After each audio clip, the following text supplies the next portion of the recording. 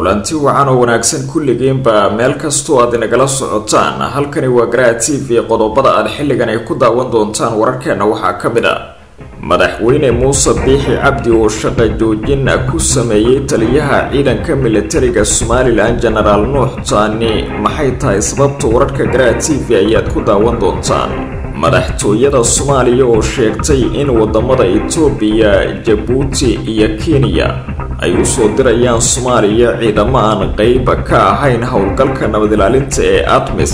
si ay qeyb uga qaataan dagaalka ka dhanka kooxda al-shabaab ee xilligani ka socda gudaha soomaaliya.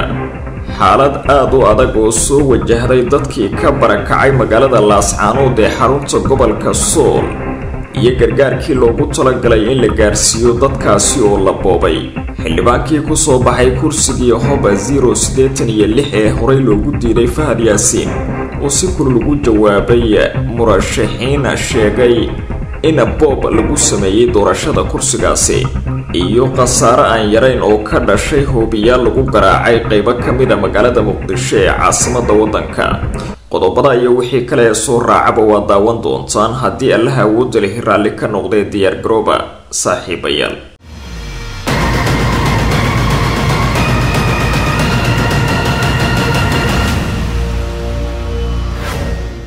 isku soo laabashaha bor mar kale daawadayaal halkani.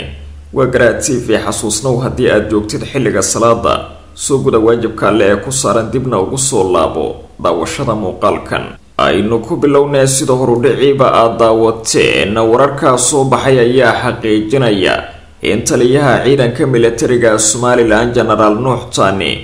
lagu sameeyey shaqa joojin sababo la xiriira dagaalka ka soconaya magaalada laascaanood ee xarunta gobolka sool una dhexeeya ciidanka militariga somalilan iyo dadka deegaanka ee s c madaxweyne muuse biixi cabdi ayaa shaqada ka joojiyey taliya nuux taani kadib markii ciidamada somalilan ay guul ka keeni waayeen dagaalka ka socda gobolka sool iyagoo soo baneeyey talisyadii tukaraq iyo gambare ee ay horay u deganaayeen wararku waxay intaasi ku darayaan in shaqa joojintani lagu sameeyey nuux taani galabnimadii axadda ee toddobaadkani ciidamada somalilan ayaa maalintaasi baneeyey dhammaan difaaciyadii dhinaca magaalada laascaanood ee xarunta gobolka sool halkaasi oo muddo ku dhow bil uu ka socdo dagaal u dhexeeya ciidamada somalilan iyo dadka deegaankaasi ka soo jeeda. Dagaalka laascaanood ayaa waxaa hadda la xaqiijiyey inay ku dhinteen in ka badan boqol iyo labaatan qof oo badankood ah shacab halka in ka badan lix boqol oo qof oo kalena ay ku dhaawacmeen sida ay sheegayaan ilawareedyo lagu kalsoon yahay madaxweyne muuse biixi ayaa si ku meel gaar ah taliska guud ee ciidamada militariga somalilan ugu dhiibay sarreeye guuto faysal cabdi bootaan oo hadda hogaaminaya dagaalka gobolka sool ee ciidamada somalilan ay kula jiraan dadka s c. Faysal bootaan ayaa muuse biixi ka dhaadhiciyey in fashilka dagaalka uu mas'uul ka yahay genaraal nuux taani taasi oo keentay in isaga si ku-meel gaar ah loogu dhiibo hogaanka dagaalka sida aynu xogtaasi ku helnay. Ciidamada somalilan ayaa laga saaray gudaha magaalada laascaanood waxaana ay ku guuldaraysteen in ay wax natiijo ah oo wax ku-oola ka gaaraan. Muddo ku dhow bil oo dagaalkani uu ka soconayo hareeraha magaalada laascaanood ee xarunta gobolka sool iyadoo saldhigyo iyo goobo kaleba ay ka qabsadeen ciidamada dadka deegaanka ee s c. Arrintaasi waxay fashil buuxa ku noqotay ciidanka somalilan oo aada u qalabaysan kuwaasi oo iyaga lagala wareegay saldhigyo iyo goobo kale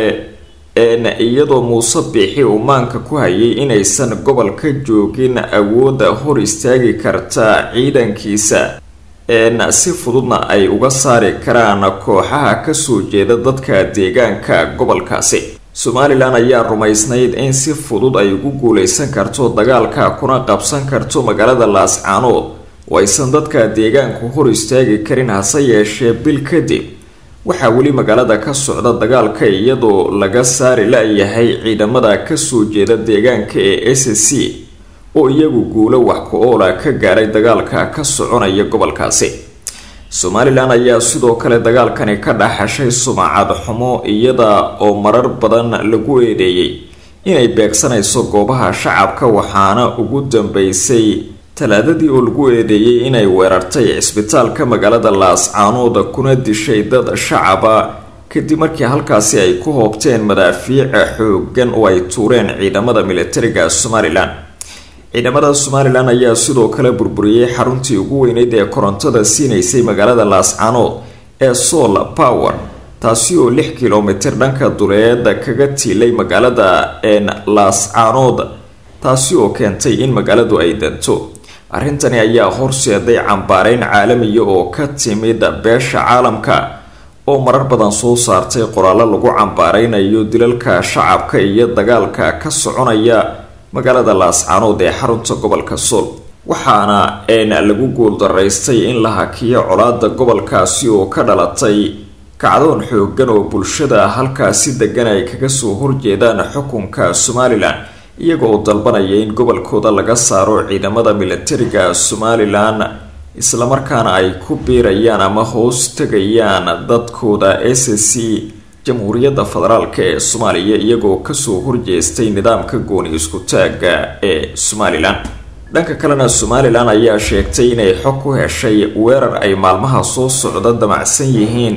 ciidanka dowlad goboleedka puntland inay ku soo qaadaan fariisimaha ciidanka militariga somalilan iyagoo sheegay inay iska difaacayaan waxay intaasi raaciyeen in ay taasi ku xaqiijin doonaan madax banaanida geyiga islamarkaana ay caalamka ku wargelinayaan halistani cusub oo ay si dhaba u wajahayaan. Sida lagu sheegay bayaan ka soo baxay wasaaradda gaashaandhigga ee somalilan. Somalilan waxay intaasi raacisay inay gudaha dhulkeeda soo galeen. Ciidamada sida gaarka u tababaran ee puntland loona yaqaano b s f ta kuwaasi oo ay ku eedeysay inay weerar ku soo qaadeen fariisimaha ciidanka militariga somalilan puntland waxay goosatay inay cadaawad noola bareerto balse waxaan caddaynaynaa inaysan isdhiibi doonin ciidamada somalilan oo ay agab kasta ku difaaci doonaan dadkeeda ayaa lagu yiri qoraalka ka soo baxay wasaaradda gaashaandhigga ee somalilan waa hagaag saaxiibayaal saddexda waddan ee dariska la ah soomaaliya ayaa lagu wadaa in ay soo diraan ciidamo taageeraya dagaalka ka dhanka kooxda al-shabaab waxaana sidaasi shaacisay madaxtooyada jamhuuriyadda federaalk ee soomaaliya. Xuseen sheekh cali oo ah la taliyaha amniga qaranka ee madaxweyne xasan sheekh maxamuud ayaa waraysi uu siiyey v o e da waxa uu ku sheegay in jabuuti etoobiya iyo kenya ay ciidamo dheeraad ah u soo diri doonaan wadanka soomaaliya si ay qeyb uga noqdaan dagaalka ka dhanka kooxda al-shabaab kuwaasi oo aan ka mid ahayn howlgalka nabad ilaalinta u jooga wadanka ee atmis ciidamadani cusub waxa uu sheegay inaysan wax shaqaa ku lahayn howlgalka atmis loogu yeero ee nabad ilaalinta u jooga dalka laakiin ay ciidamada xoogga dalka soomaaliyeed iyo dadka deegaanka ka caawin doonaan ama kala qeybgeli doonaan dagaalka ka dhanka al-shabaab ee ka socda dalka qorshahoodu waa inay soomaaliya ku yimaadaan saddex toddobaad gudahood ayuu sheegay la taliyaha amniga qaranka soomaaliyeed. Xuseen sheekh cali waa uu diiday inuu shaaciyo tirada ciidamada imaanaya sababo la xidhiidha hadafka howlgalka sida uu tilmaamay. Kaalintooda waxa uu ku sheegay inay si wadajir ah u qorsheynayaan ulana howlgalayaan taliska ciidamada amniga soomaaliya. Sidaasi darteed waxay la dagaalami doonaan al-shabaab iyaga oo garab istaagaya ciidamada soomaaliyeed iyo dadka deegaanka sida uu sheegay. Hogaamiyaasha saddexdani dal ayaa kowdii bishii febraayo ka qeyb galay kulan madaxeed uu muqdisho ku martigeliyey madaxweynaha jamhuuriyadda federaalk ee soomaaliya xasan sheekh maxamuud. Warmurtiyeed ka soo baxay kulankaasi ayay ku sheegeen inay isku raaceen in si wadajir ay u qorsheynayaan una abaabulayaan olole howl oo lagu ragaadinayo laguna burburinayo kooxda al-shabaab kaasi oo dhowr jiho ka bilaabanaya. Ololahani wakhtiga xasaasiga ah waxa uu ka hortagi doonaa in canaasiirta kooxda ay ku faafaan gobolka ayaa lagu yidhi warmurtiyeedka ka soo baxay hogaamiyaasha saddexdani wadan matt brayton oo ah qabiir amniga geeska afrika ayaa sheegay in ciidamada dheeraadka ah ee aan qeybta ka ahayn atmis ay dadejin karaan dadaalada lagu wiiqayo loogana adkaanayo kooxda al-shabaab. Tan iyo markii dowladda federaalk ee soomaaliya iyo saaxiibadeedu ay ku dhawaaqeen damacooda al-shabaab waxay u badan tahay inay kala dirtay dagaalyahanadeeda si ay uga fogaato dagaal militari oo toos ah ayuu sheegay brayton ayaa sidoo kale ka digay in guusha wejiga labaad ee duulaanka ay ku xirnaan doonto laba arrin oo muhiima howlgallada ka hortaga argagixisada waa inay noqdaan kuwa ay sirdoon ku hogaaminayaan oo leh ujeedooyin cad sida burburinta saldhigyada la yaqaan ee al-shabaab iyo dilka hogaamiyaasha sarsare. Arrinta labaad ayuu ku sheegay in la helo ciidamo xaqiijiya oo gacanta ku haya deegaanada laga qabsado kooxda al-shabaab si aysan u dhicin in dib looga soo laabto. Howlgalladii ugu dambeeyey ee dowladda kana dhanka ahaa al-shabaab ee gobollada dhexe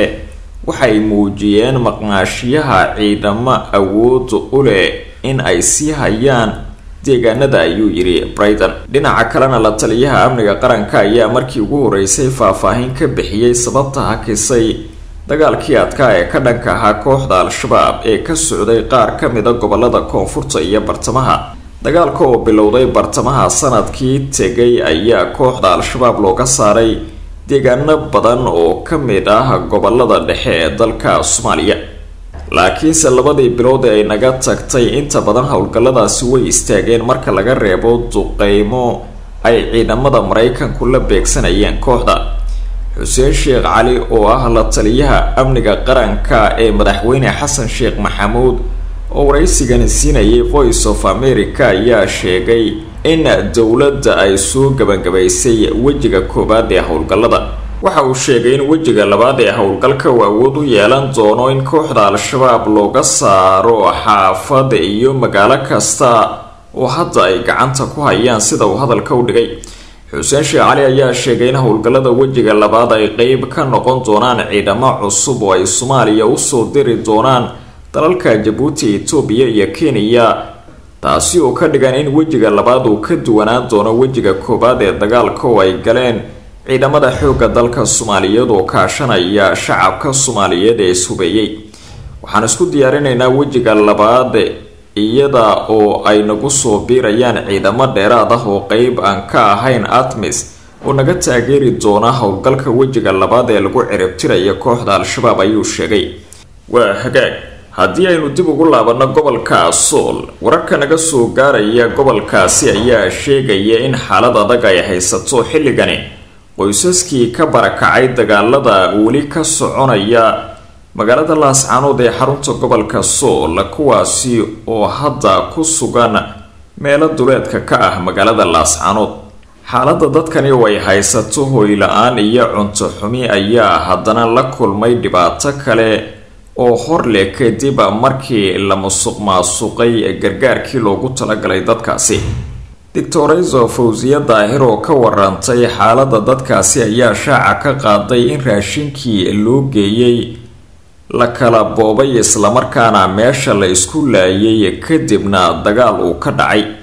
Sida ay tilmaamtay raashinkii waxay noqotay in dadka meel la iskugu keenay si loo diiwaan geliyo oo hawshiina inta ay dadka ku badatay wax la diiwaan geliyey iyo wax la qaatay la kala garan waayey oo mashruuc ay noqotay kadibna meeshaasi buuq uu ka dhashay gacantana la iskula tegay sida ay tilmaamtay iyadoo la musuqay gargaarkii loogu talagalay dadkaasi. Sidoo kale waxay intaasi ku dartay in qoysaska qaar ay qaateen raashin badan halka kuwo kalena ay la-yihiin wax ay haatan dabka saartaan. Waxay sheegtay in dadka qaarkii ay dhowr mar qaateen raashinka oo ay ku ceshceshadeen halka ay jiraan qoysas badan oo aan ilaaya hadda dhadhamin taasi oo ka dhigan inuu dhacay musuq maasuqii ugu baahsanaa ee uu wajaho gargaarka la gaarsiiyey dadkaasi. Dhinaca kale waxa ay eedda dusha ka saartay guddiga loo sameeyey dadkaasi ee loo dhiibay gargaarka waxayna sheegtay in ay gabeen mas'uuliyaddii ka saarnayd sidii dadkaasi ay qaab wanaagsan u gaarsiin lahaayeen gargaarka waxaana ay tilmaamtay inay isku dhex qasantay arrintii iyada oo ay jiraan dad fara badan oo hadda wajahaya xaalad nolol xumi oo aada u liidata kuwaasi oo ka soo barakacay magaalada laascaanood. Xaaladda magaalada laascaanood ee xarunta gobolka sool ayaa weli ah mid kacsan waxaana halkaasi iskaga barakacay kumanaan qof oo ka mid a dadkii ku dhaqnaa si ay nafahooda ugala baxsadaan. Dagaalka ka holcaya magaaladaasi muddada ku dhowa bisha iyadoo magaalada ay ku dhaceen madaafiic xoogan oo burburisay qeybo badan oo ka mid a een xaafadaha magaalada iyo goobaha muhiimka ah. Tan iyo markii uu bilowday dagaalkani shacabka ayaana qulqul xoogan waday si ay uga barakacaan magaaladaasi qaarkood waxay gaareen dalka itoobiya gaar ahaan kilarka soomaalida halka inta badanna shacabka kale ay ku barakaceen deegaanada puntland iyo duleedka laascaanood waxaana lagu qiyaasay dadka ka barakacay magaaladaasi in ka badan laba boqol oo kun oo qof. Magaaladu waxay martigelisay dhowr iyo labaatan beri oo xiriir ah oo dagaal u dhexeeyay ciidamada militariga somalilan iyo dadka deegaanka uu socday. Ilaa iyo haddana ma muuqdo xal rasmiya oo laga gaaray dagaalka si ay dadkaasi dib ugu laabtaan guryahooda xildhibaankii dhowaan ku soo baxay kursiga hob zero siddeetan iyo lix ee horey loogu diiday fahad yaasiin ayaa si kulul ugu jawaabay murashaxiin doonayay inay kursigaasi u tartamaan oo tilmaamay in la boobay loona diiday in lagu tartamo doorashada kursigaasi. Xildhibaan maxamed sheekh axmed maxamed oo maalmo ka hor ku soo baxay kursiga hob zero siddeetan iyo lix ee horey looga diiday fahad yaasiin ayaa markii ugu horeysay ka hadlay xiisada haraysay kursiga oo weli ah mid taagan. Xildhibaanka oo ka hadlayay munaasabad ballaaran oo loogu sameeyey magaalada muqdisho ayaa ka hadlay eedda uga imaaneysa dhanka murashaxiinta laga hor istaagay kursigaasi kuwaasi oo uu ka mid yahay agaasimihii hore ee warfaafinta madaxtooyada cabdinuur maxamed isagoo u jawaabaya murashaxiintii doorashada cabashada ka keentay ayaa weerar uu ku qaaday wuxuuna tilmaamay in tallaabo ay qaadeen aan looga baranin reer aw xasan beesha iskale kursigaasi ee uu ka dhashay. Soomaalida waxa ay la yaaban yihiin dad reer aw xasana oo qeylqeylinaya inay jiraan laakiin reer aw xasanka qaar baa baktinaya oo ay hadda naftu ka dhacaysa ayuu ku yidhi hadalkiisa sidoo kale waxa uu tilmaamay in raggaasi ay yihiin kuwo ka soo horjeeda danaha beesha iyo horumarka sida uu hadalka u dhigay. Reer aw xasanka qaar badan oo ka mid ah farbaa ugu laaban arrintani ayuu sheegay xildhibaanka. Dhanka kale waxa uu ka hadlay waxqabadkiisa isaga oo tilmaamay in qiimaha dadka reer aw xasan uu yahay inay ka shaqeeyaan danta guud taasina uu ku dadaali doono. Qiimaha dadka reer aw xasan ay leeyihiin waxay tahay inay danta guud ka shaqeeyaan oo waxaa guud oo anfacaya dalka iyo dadkaba ay u istaagaan ayuu ku daray hadalkiisa. Hadalkani ayaa ku soo aadaya iyadoo weli ay cabanayaan murashaxiintii kursiga hob zero siddeetan iyo lix kuwaasi oo dacwada culus u gudbiyey maxkamadda sare laakiinse la soo diiday qeybaha dambe ee wararka ayaan ku siqayaa iyo faahfaahino dheeraad ayaa ka soo baxaya hobiyaal ku soo dhacay qeybo ka mid a magaalada muqdisho ee caasimada dalka kuwaasi oo khasaare dhaliyay. Hobiyaasha ayaa ku soo dhacay xaafado ku yaalla degmooyinka boondheere iyo shibis ee gobolka banaadir waxayna sababeen khasaare iskugu jira dhimasho iyo dhaawac. Sida ay xaqiijiyeen dadka degan xaafadahaasi iyo goobaha caafimaadka hobiyaashani ayaa la xaqiijiyey in laba ka mid a ay ku dhaceen guri tacsi ay taalay oo ku yaalla degmada shibis ee magaalada muqdisho kaasi oo la sheegay inay ku dhinteen laba qof oo ku sugnaa guriga ayna ku dhaawacmeen sideed qof oo kale. Sida ay sheegeen dadka xaafadda dadka ku dhaawacmay hobiyaasha waxaa la sheegay inay u badnaayeen haween oo ay ku jirtay gabaar xaamilo ahayd kuwaasi oo la geeyey xarumaha caafimaadka ee magaalada muqdisho. Sidoo kale waxaa mid ka mid a hobiyaashani uu ku dhacay guri dad shacaba ay degan yihiin oo ku yaalla isgoyska jubba waxaana halkaasi ka dhashay khasaaro dhaawac u badan. Inkastoo aan ilaya hadda si rasmiya loo soo xaqiijin khasaaraha ka dhashay gurigaasi. Sidoo kale waxaa jira tiro hobiyaal oo iyaguna ku dhacay xaafado ku yaalla agagaarka madaxtooyada soomaaliya hase yeeshee lama sheegin khasaaraha ay dhaliyeen kuwaasi. Kooxda al-shabaab ayaa qoraal ay ku baahisay warbaahinta taageerta ku sheegtay in iyadu weerarkani ay ka dambeysay waxayna tilmaamtay inay weerareen xarunta booliiska gobolka banaadir xilli ay ku sugnaayeen saraakiil sarsare sida hadalka loo dhigay. Ammaanka caasimada ayaa u muuqda mid faraha ka sii baxaya iyadoo saacadihii la soo dhaafay gudaha magaalada ay ka dhaceen falal kala duwan oo iskugu jiray dilal qorshaysan iska horimaadyo u dhexeeyay ciidamada iyo madaafiic la tuuray. Wararkii ugu dambeeya ee soomaalida waa naga inta nabaday